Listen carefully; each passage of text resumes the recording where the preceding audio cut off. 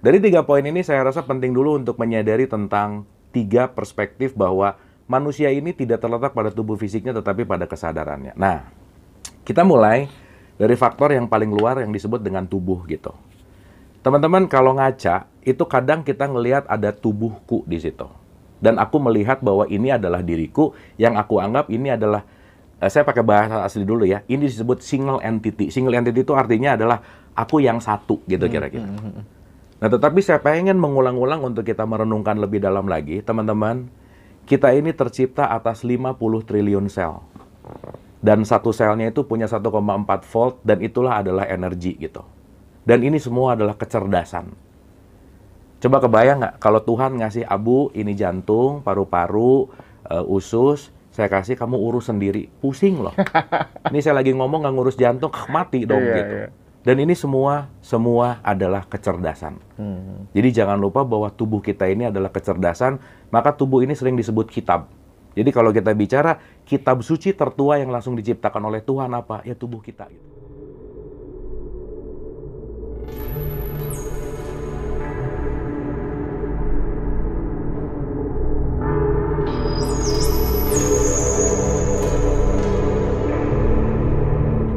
Adalah yang berbobot gitu. Nah, jadi Mas, aku beneran beneran apa ya pas kemarin kan kebetulan tuh apartemenku tuh depanan nama GBK gitu ya. Em- Emang aku nggak bisa datang ke situ juga karena nggak ada undangan gitu. Cuman aku ngelihat di situ vibes yang oke banget, kerukunannya oke banget gitu ya dan masyarakat kita udah mulai menjunjung tentang welas asih gitu Mas Hendra.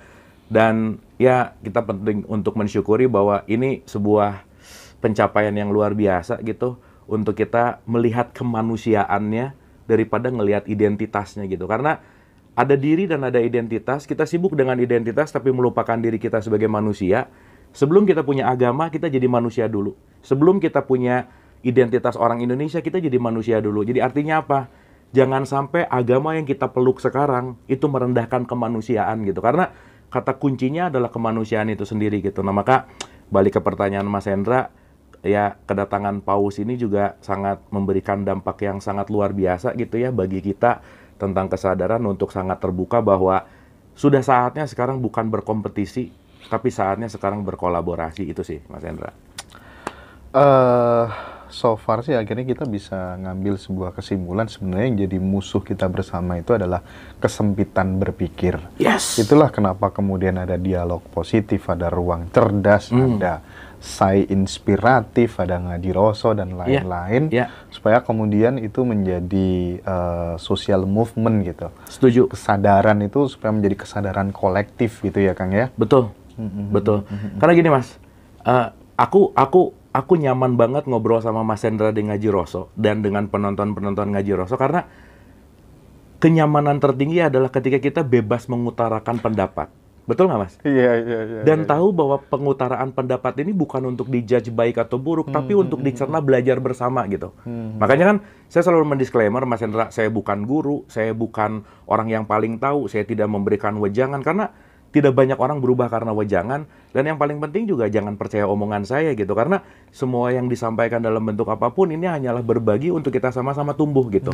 Nggak main menang-menangan nggak main benar atau salah tetapi ruang-ruang untuk menyampaikan sesuatu yang otentik itu saya rasa 2025 itu akan semakin terbuka gitu. Dan yang Ngaji Roso menjadi salah satu pelopor lah ya. Kita tahu bahwa movementnya Mas Hendra tuh luar biasa banget. Dan tadi barusan kita ngobrol bahwa Mas Hendra udah pada satu titik yang kalau pakai bahasanya nanti kita bahas sedikit ya itu disebut wu wei Mas Hendra.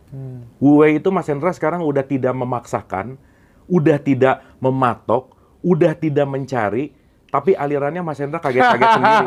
Bener nggak? Kaget-kaget sendiri. Iya gitu. benar-benar. Iya. Pokoknya tiba-tiba rekening naik sendiri, ya nggak? Tiba-tiba semua yang dilakukan laku semua, tiba-tiba apa semua. Dan tadi Gila saya sih amazed banget sama Mas Hendra nih ya, yang mungkin nggak banyak orang tahu bahwa Mas Hendra melakukan pemberdayaan luar biasa kepada sekitarnya gitu. Mengajak orang-orang untuk masuk, menjadikan entrepreneur untuk menjual buku teman-teman yang di Ngaji Roso dan seterusnya. Ini kan social movement yang saya rasa, aduh ini yang lagi dibutuhkan gitu. Nah jadi teman-teman saya rasa eh, saatnya sekarang mungkin bukan untuk kompetisi lagi gitu ya, tapi ayolah kita berkolaborasi gitu. Dan Iya. saya rasa Ngaji Roso good example untuk kolaborasi terhadap siapa pun gitu ya yang punya inspirasi, aspirasi untuk membuka kesadaran karena saatnya untuk kita dalam tanda petik menjajah kebodohan-kebodohan itu dengan apa? Dengan action, dengan welas asih gitu. Karena benar Mas, musuh kita semua adalah kebodohan gitu. Ah. Karena kalau pinter itu kan terukur Mas. Hmm. Kalau goblok itu nggak ada ukurannya Mas gitu.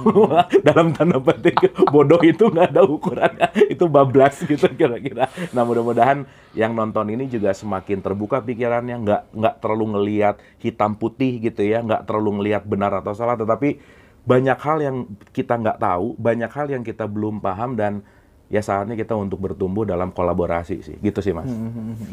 Aku teringat ketika suatu saat si siapa Sabrang mengatakan terkadang kebenaran yang kita pahami adalah kesalahan yang belum kita pahami. Ya. Itu yang dialami banyak orang di Ngaji Roso dengan hadirnya narasumber satu yang lain gitu. Oh, ternyata lawan dari benar itu adalah benar yang lain gitu ya kan Benar. Bu ya. Kebayang nggak Musa ditemuin Hidir. Ketika Hidir ngebunuh anak kecil, Musa pada saat itu belum nyampe ilmunya mas. Gitu. Itu kan eksplisit banget tuh contoh yang dahsyat banget untuk untuk menyadari bahwa ya terlepas dari apa pun itu bahwa benarnya kita saat ini terus bertumbuh gitu. Maka kan yang selalu saya ulang-ulang mas nggak ada sih perintah satupun bahwa berlomba-lomba dalam kebenaran tuh nggak ada. Karena benar ya kita sekarang itu bisa expired besok pagi karena kita meluas gitu. Kita nih melakukan expanding kita tuh melakukan kedinamisan gitu makanya maaf banget ya teman-teman, ini juga penting untuk kita sama-sama renungkan bahwa yang akan bertahan adalah yang adaptif. Yang akan bertahan adalah yang melakukan kalibrasi gitu. Karena kalau kita pakai pemikiran lama atau pakai belief system yang lama, sementara zaman terus maju, sementara di kedinamisan terus berjalan, dinosaurus saja punah karena nggak adaptif gitu. Dan semua Nokia misalnya mas, Iya, iya, iya. dia dengan dengan wah top lah gitu ya. Siapa sangka Nokia akan hancur dalam tanda petik ketika dia lupa bahwa ada adaptif di situ gitu. Nah, maka saya rasa the power of adaptif itu penting banget. Dan balik lagi sih saya pengen straight to the point. Bagaimana kita menjadi orang yang adaptif? Milikilah selalu yang namanya rendah hati sih. Karena aduh udah deh teman-teman, tanpa kerendahan hati gitu, kita akan sulit melepaskan masa lalu. Tanpa kerendahan hati kita akan sulit untuk menerima hal yang baru. Dan kesulitan menerima hal yang baru itu memusnahkan kita pelan-pelan by the way.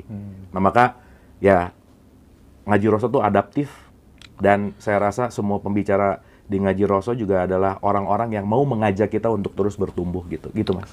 Ini akan dipotong-potong di TikTok ruame ini mesti ya. Tapi nggak apa-apa ya Kang Abu dipotong-potong kayak gitu ya, nggak ada masalah ya. Ya apa yang nyampe ke aku kan titipan Mas. Jadi saya selalu bilang bahwa ya silahkan.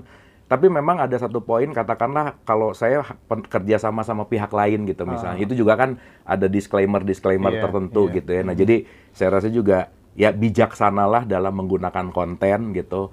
Dan sebisa mungkin kan juga ada kulunuwun lah kalau kata orang Jawa gitu ya. Meskipun itu kan hal yang sangat simpel gitu dan saya rasa ya kita sangat menjaga eh, menghormati tentang konten, tentang copyright gitu ya. Pun kalau Mas Hendra tadi bertanya bahwa wah Mas potongan ya ngaji Roso juga potongannya banyak banget ya.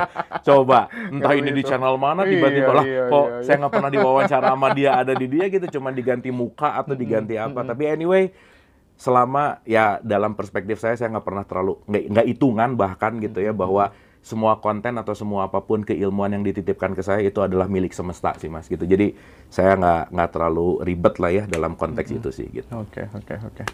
Menarik. Nah, Kang Ambu, seperti yang kapan hari kita ngobrol di Malang, ya ada yang lupa belum disampaikan. Ini mungkin momen yang tepat ya. Eh, the wisdom of body. Betul, Nah, Mas. itu penting sekali. Teman-teman butuh edukasi soal intermittent fast fasting Iya. dan lain sebagainya gitu. Karena Kang Abu mengalami tidak hanya sekedar teori, praktik sendiri. Ini mungkin nanti akan lebih ketemu vibes-nya gitu. Ketika kemudian kita cerita udah ngalamin sendiri dan itu tidak hanya sekedar uh, mengedukasi, tidak hanya sekedar menginspirasi, tapi lebih jauh mampu menggerakkan gitu loh ya, menggerakkan untuk kemudian kita geser dari uh, A ke B gitu. Gimana Kang? Oke, kita kita mulai dari eh, bagaimana kita memiliki tubuh fisik gitu ya, Mas Iya. Andra. Ini topik yang asik banget gitu ya. Jadi teman-teman uh, please enjoy, dinikmati dan saya rasa selalu saya ulang-ulang sih Mas. Ada orang yang cukup puas dengan mendengarkan dan tahu, tapi nggak nggak dikerjain juga sih. Makanya udah ratusan kali nonton ngaji Roso, pengetahuan banyak tapi hidup gitu-gitu mulu Iya, gitu. iya, iya, iya. Kenapa? Karena hal yang terpenting adalah merubah dari pengetahuan menuju kepada laku gitu. Hmm, Oke, saya akan mulai dari satu statement gini. Kalau Quran tuh mengatakan kan ahsani takwim bahwa kita didesain dengan sebaik-baiknya. Oke ya, kita didesain dengan sebaik-baiknya. Saya bagi dulu konteksnya gini, Mas. Mas kita agak mundur ke tengah, ke Oke, depan, santai ya kita boleh, ya. boleh, aman. Pokoknya kita, saya nggak pengen cepat-cepat ngeberesin, tapi yang penting pelan-pelan dan teman-teman bisa kunyah Hmm, dengan santai gitu. Karena kan banyak banyak komentar, Kang Abu kalau ngomong bahasanya agak aneh. Ya ini ini lagi belajar supaya bahasanya nggak terlalu aneh ya. Supaya siapa pun yang dengar semoga bisa belajar gitu. Hmm, Oke, saya akan memulai begini. Kita nggak bisa lepas dari program yang namanya evolusi gitu. Maka saya membagi tiga dulu Mas Hendra. Membagi tiga dulu bahwa ada fase tumbuhan vegetatif, ada fase binatang, dan ada fase menjadi manusia gitu gitu ya. Ini ini penting banget untuk kita renungkan. Nah, kita kadang ngelihat diri kita tuh manusia, tapi jangan-jangan kita belum move on dari evolusi tumbuhan gitu. Contoh, contoh. Tumbuhan itu dia sangat sangat tergantung sama faktor eksternal, Mas Hendra. Kalau lagi musim semi ya ikut ikut layu gitu kira-kira. Kalau lagi berbuah ya ikut gitu. Jadi tumbuhan ini nggak bisa menolak apa pun, lingkungan luar akan memengaruhi dia gitu. Nah jadi maaf ya, kalau kita termasuk orang yang berperan gara-gara lingkungan luar, berarti belum jadi manusia, masih jadi pohon sih gitu Mas Hendra. Gara-gara dia ikut bete, gara-gara itu ikut bete. Bahwa lingkungan luar memengaruhi kita, sehingga remote control happiness kita dikontrol sama faktor eksternal, berarti kita belum tumbuh jadi manusia gitu. Itu dulu. Ya, jadi tolong dirasain. Sekarang lagi jadi pohon atau enggak, itu satu. itu penting. Naik satu level namanya binatang. Hmm. Bahkan kalau di Quran tuh kan apa bedanya kamu sama binatang ternak? Binatang itu adalah yang mengedepankan biologis. Yang mengedepankan yang namanya faktor hanya biologis. Kalau nggak urusan perut, urusan bawah perut. Kalau nggak urusan makan, urusannya seksual gitu. Dan ini kita nggak bicara baik atau buruk, nggak. Dan kita nggak bisa bicara bahwa ya maaf ya Mas Hendra ya suka ada orang ngomong gini, ih dasar ya nafsu binatang. Binatang itu kalau mau berbuat, mau melakukan perbuatan, mau eh, koitus gitu ya, mau berhubungan, itu ada waktunya loh. Ada waktunya loh. Nah kalau manusia kan nggak ada waktunya. Dan 99% kan berharap nggak jadi juga sih sebenarnya kan, dalam tanda petik gitu. Jadi kalau sekarang, ini ya dasar nafsu binatang. Nah jangan-jangan kita lebih binatang dari binatang gitu. benar. Dalam tanda petik gitu. Maka kalau kita masuk hanya dalam konteks biologis kita, kalau kita hanya dipenuhi hasrat biologis kita, ya ini lebih baik dari pohon karena binatang udah bisa bergerak gitu kira-kira. Nah, tetapi kekuatan manusia itu kan akal gitu. Which is akal itu adalah kesadaran. Maka kesadaran menggunakan tubuh fisiknya. Kesadaran menggunakan manas, pikiran, perasaan, emosinya gitu. Makanya ada tiga stage, fase vegetatif tumbuhan, fase biologis yang namanya hewan. Makanya kita ini disebut hayawan natikun gitu. Hayawan natikun. Yes. Hewan yang berpikir. Hewan yang berpikir gitu. Makanya ya ya sorry ya kalau pikirannya nggak ada ya tinggal hewan ya dong. ya. kalau akalnya nggak dipakai itu sama Iya, bedanya. iya, eh iya. kan kita udah ulang-ulang yang messenger Ah. kita sama simpanse itu cuma beda 1,23 persen loh. Jadi saya teman-teman kurang satu persen aja Simpanse. simpanse kita. Gitu. Mas Hendra nggak akan bisa bikin ngaji roso by the way. Iya, iya, gitu. iya, iya. Nah, atau nggak penontonnya ya simpanse sih. Gitu. Nah dari tiga poin ini saya rasa penting dulu untuk menyadari tentang tiga perspektif bahwa manusia ini tidak terletak pada tubuh fisiknya tetapi pada kesadarannya. Nah, kita mulai dari faktor yang paling luar yang disebut dengan tubuh gitu. Teman-teman kalau ngaca itu kadang kita ngelihat ada tubuhku di situ. Dan aku melihat bahwa ini adalah diriku yang aku anggap ini adalah eh, saya pakai bahasa asli dulu ya. Ini disebut single entity. Single entity itu artinya adalah aku yang satu gitu kira-kira. Nah, tetapi saya pengen mengulang-ulang untuk kita merenungkan lebih dalam lagi, teman-teman. Kita ini tercipta atas 50 triliun sel. Dan satu selnya itu punya 1,4 volt dan itulah adalah energi gitu. Dan ini semua adalah kecerdasan. Coba kebayang nggak kalau Tuhan ngasih abu ini jantung, paru-paru, eh, usus, saya kasih kamu urus sendiri, pusing loh. ini saya lagi ngomong nggak ngurus jantung, mati dong Iya, gitu. iya. Dan ini semua semua adalah kecerdasan. Hmm. Jadi jangan lupa bahwa tubuh kita ini adalah kecerdasan, maka tubuh ini sering disebut kitab. Jadi kalau kita bicara kitab suci tertua yang langsung diciptakan oleh Tuhan apa? Ya tubuh kita gitu. Maka ikro kita baka, bacalah kitabmu, bacalah dirimu. Ikro tuh observasi dirimu gitu. Maka teman-teman maaf banget ya. Maaf banget nih. Mungkin hari ini banyak orang yang lupa untuk at least hanya berterima kasih sama tubuhnya gitu. At least bagaimana melakukan self love gitu. Ketika jangan-jangan kita ngaca aja kita ngelihat yang kurangnya terus. Kita intinya intinya si tubuh ini tidak menjadi teman baik gitu. Sehingga baga bagaimana kita akan berdamai sama diri? Kalau pakai bahasanya, maaf banget ya, disebut alienated soul. Banyak orang hari ini yang jiwanya nggak betah di rumahnya sendiri Kenapa? Ya karena nggak dibikin betah. Jadi kalau pernah ngedengar ada satu statement bahwa baiti jananti, jadikanlah rumahmu sebagai surgamu. Saya rasa bukan masalah rumah ini sih, tapi jadikanlah kamu dan tubuhmu itu memiliki good connection, komunikasi yang bagus, dan hanya tubuh ini yang akan menemani kita ke mana-mana gitu. Maka maaf banget ya, ketika kita mencari cinta keluar, ketika mencari sayang keluar, kita pasti akan mendapatkan kekecewaan. Karena self-love, mencintai diri, bagaimana kita benar-benar ngurus diri, itu adalah hal yang paling esensial dalam kita menyadari kehidupan ini gitu. Nah jadi teman-teman saya balik ya. Semoga ini juga mulai dirasain bahwa oh iya ya, tubuh kita ini cerdas gitu. Mungkin kalau saya kaitkan dengan arahmannya di Quran, nikmat Tuhan kamu mana yang kamu dustakan?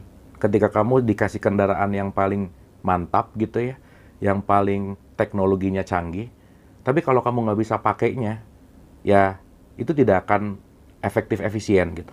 Nah pertanyaannya adalah, dari 50 triliun sel ini, yang akan menjadi CEO-nya itu adalah pikiran kita.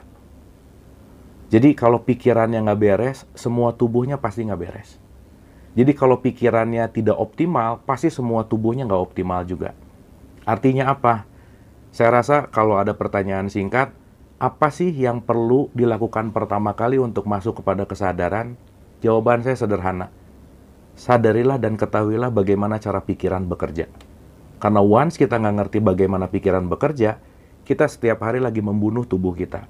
Ini saya lagi ngomong, ratusan juta sel mati loh. Dan dia hidup lagi. Maka teman-teman kita tuh nggak pernah jadi orang yang sama. Teman-teman yang tiga jam yang lalu sama detik ini itu beda. Kenapa? Semua strukturnya udah diperbaiki dan itulah kasih sayangnya bumi, ibu bumi kepada kita yang terus mau mensupport dan sel kita, semua sel kita itu sangat ingin hidup, survive. Kebayang nggak? Semua selnya ingin hidup, tapi mentalnya pengen bunuh diri gitu misalnya. Tapi mentalnya pengen mengakhiri diri gitu. Nah di situlah terjadi chaos antara tubuh sama mental itu jadi nggak sinkron. Nah, salah satu pengertian stres kalau kita ngomong dari statementnya Joe Dispenza gitu misalnya, saya pakai bahasa aslinya dulu supaya mungkin teman-teman juga jadi tahu gitu ya. Ada yang disebut tidak homeostasis. Homeostasis itu artinya seimbang. Antara apa? Antara mind, body, dan soul kita gitu. Antara pikiran dan tubuh gitu. Nah jadi tahapan pertama, jangan lupa kita udah dikasih kendaraan yang terbaik. Jadi please Mas maaf ya, orang belajar kesadaran tuh sekarang kadang-kadang pengen nambah ilmu terus, pengen nambah pengetahuan terus, tapi rupa olahraga mas, hmm, hmm, hmm. rupa menjaga tubuh hmm, gitu, lupa asupan yang dimasukinnya gimana gitu. Nah itu kan akan sangat berpengaruh. Kebayang nggak teman-teman, sopirnya keren, sopirnya top banget knowledge, tapi mobilnya bannya bocor tiga gitu, tetap aja itu nggak akan jadi hal yang dalam tanda petik homeostasis tadi hmm. gitu. Nah jadi saya akan mulai bahwa Ingat, kita diamanahi 50 triliun sel. Jadilah pemimpin yang baik untuk tubuh ini setidaknya. Karena kalau kita tidak baik memimpin tubuh ini, ya bagaimana kita akan memimpin yang lain gitu. Nah, pertanyaannya adalah gini. Ketika kita udah tahu ada tubuh fisik nih, bahwa tubuh fisik ini adalah akumulasi dari faktor eksternal. Hmm. Akumulasi dari apa yang datang dari luar. Makanya dulu kita kecil, membesar, membesar, membesar. Nah, yang sangat concern itu adalah asupan sih. Saya saya langsung straight to the point ke yeah. we are what we eat. Kita adalah yang kita makan. Nah, saya mau garis bawahi gini. Ada tubuh itu kaitannya sama segitiga manas. Pikiran, perasaan, emosi. Jadi Mas maaf ya, Emosi itu kan dari movere, movere itu artinya energi. Jadi tubuh fisik dan emosi kita itu sangat punya linkage atau sangat punya kaitan yang sangat erat. Maka maaf banget, kalau teman-teman malas olahraga, jarang gerak, pasti emosinya nggak bagus. Emosi yang tidak baik akan membentuk perasaan yang nggak bagus. Dan perasaan yang nggak bagus pasti akan bikin pikiran juga jadi mumet lah dalam tanda petik. Nah jadi sebisa mungkin teman-teman, ya saya pengen ngulang-ngulang juga bahwa kalau sekarang komplain, aku tuh stres, aku tuh depresi, aku tuh masalah. Coba tanya, kapan terakhir olahraga? Kapan terakhir menggerakkan tubuh dan niat untuk berolahraga? Karena sorry to say, tanpa tubuh yang digerakkan tidak akan ada emosi yang bagus gitu. Makanya gerak itu perlu. Jadi teman-teman sebisa mungkin, nomor satu ya, sebisa mungkin. Satu hari setidaknya, setidaknya, luangkan waktu 30 menit aja atau kalau 30 menit kelamaan, 20 menit aja. Hmm. Atau kalau 20 menit kelamaan, 5 menit aja dulu. Sebisa mungkin olahraga. Gerak-gerak kah, jalan kah, atau apa pun, tapi benar-benar diniatkan. Yang saya selalu sering ngomong gini kan Mas Hendra, orang tuh sekarang niatnya udah ada sih, pengen tapi terlalu banyak observasi gitu. Olahraga yang baik apa ya? Dia ngelihat zumba, dia ngelihat yoga, dia ngelihat nge-gym, berenang, ngelihat mulu. Hmm. Tapi akhirnya karena kebanyakan research dan ngelihat, nggak jadi juga olahraganya gitu. Jadi kalau mungkin ada pertanyaan olahraga yang terbaik apa? Sederhana, olahraga yang, yang disempatkan. Yang disempatkan. Nah, Dah, iya, iya. udah jangan banyak aneh-aneh mikir, pokoknya gerak aja. Ya, sorry ya. Sekarang kalau ada komplain, aku bete, aku apa, cek. Kalau nggak pernah olahraga, nggak akan ada perubahan gitu. Hmm. Kenapa? Karena jangan sampai kita nutrisi batin, ya belajar kebatinan terus gitu, misalnya quote and quote ya. Tapi si tubuh fisiknya nggak digerakin, ya, ya, nonsense ya, ya. gitu. Jadi itu nomor satu. Hmm. Love your body. Ketika kita mencintai tubuh kita, maka tubuh akan menservis kita jadi jauh lebih baik. Nah, yang kedua, teman-teman perlu diketahui bahwa kita ini adalah pabrik kimia kita ini hidup dari hormon gitu. Jadi chemistry-chemistry tubuh ini sangat penting. Nah, kenapa sih saya selalu mengulang-ulang dan nggak pernah bosan pokoknya ya? Saya ke mana-mana podcast cuma mau ngomong tiga aja. Perbaikan kesadaran, start awakening, itu datang dari tiga. Nomor satu, stop jadi orang pelit. Yang kedua adalah kontrol ego. Yang ketiga adalah memaafkan. Nah, saya kasih contoh sederhana gini. Kalau kita pelit, kalau kita menggenggam, itu ego kita, itu akan tinggi tuh maka kita akan sulit melepaskan. Dan sulit melepaskan itu akan membuat kita jadi susah untuk menerima realitas. Itulah kenapa orang yang pelit, egonya tinggi dan susah memaafkan, udah pasti stres hormonnya membanjiri tubuh. Dan jangan lupa, orang yang stres hormonnya tinggi itu akan membunuh yang namanya imun sistem. Makanya saya selalu mengulang-ulang bahwa marah 5 menit itu akan membunuh imun tubuh 6 jam. Jadi teman-teman kalau pengen cepat mati sok banyak marah ya. Hmm. Pasti semuanya cepat shutdown gitu. Nah, sementara Mas Hendra maaf ya, orang marah, orang benci, orang dendam itu merasa bahwa aku sedang menyakiti orang yang aku benci. Jadi marahku, aku rasa bahwa aku sedang menyakiti dia.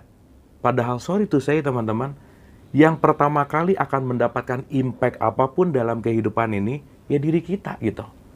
Makanya karena marah itu sensasi gitu ya, penderitaan itu sensasi, orang ini sekarang jadi kecanduan menderita gitu. Yang akhirnya dia nyaman dengan tidak memaafkan, nggak mau memaafkan, egonya gede banget, gengsinya gede banget, tanpa sadar dengan itu semua terjadi, semua sistem imun tubuhnya akan semakin drop, drop, drop, dan drop gitu.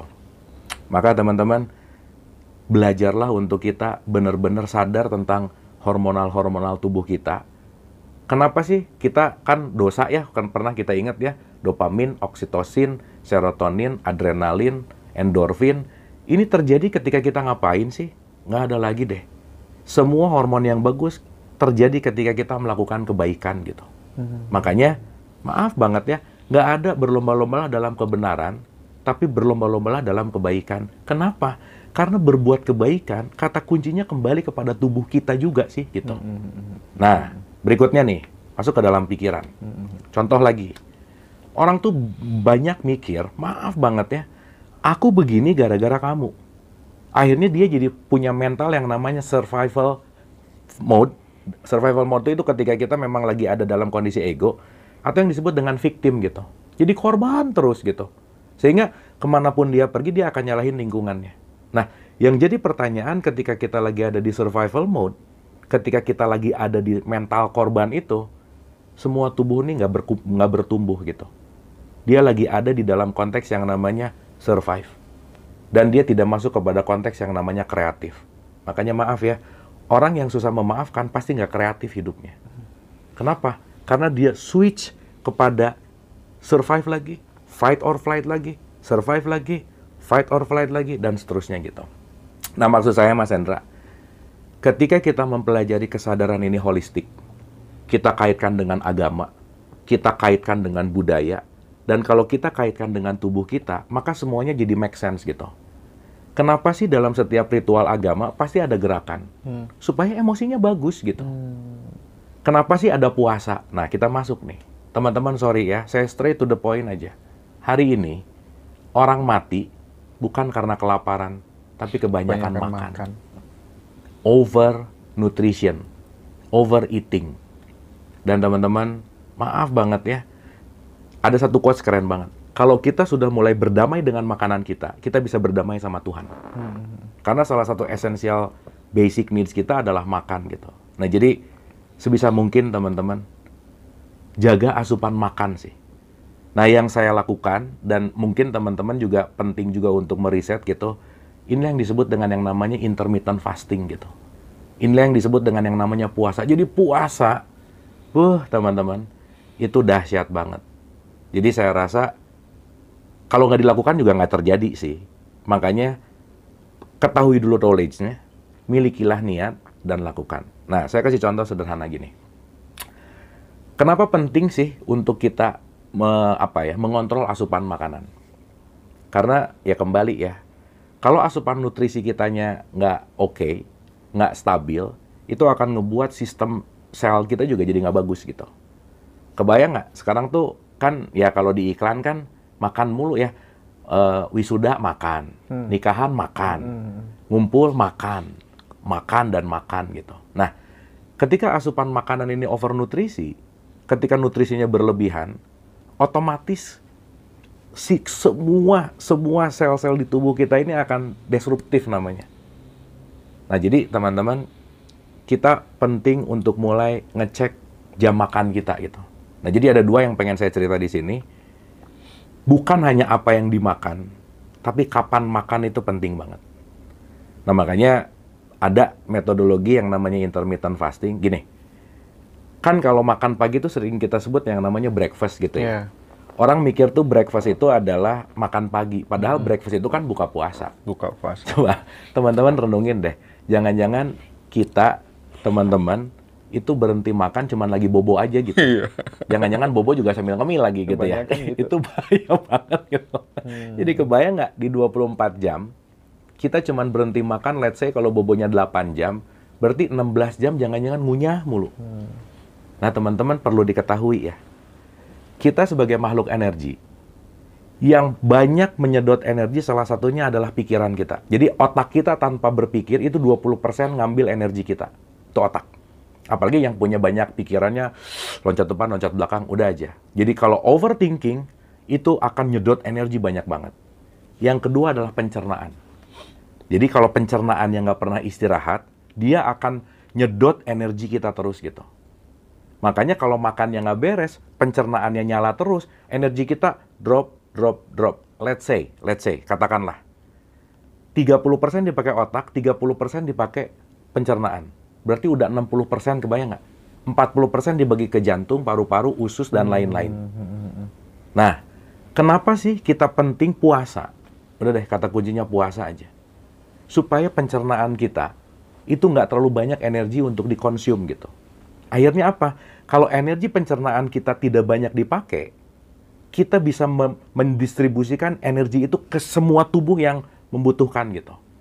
Nah, jadi kalau mau mulai teman-teman sangat bagus banget startlah untuk 16 jam tadi. Ya, let's say start makan jam 12, berhenti jam 8. 8 jam aja Windows buka.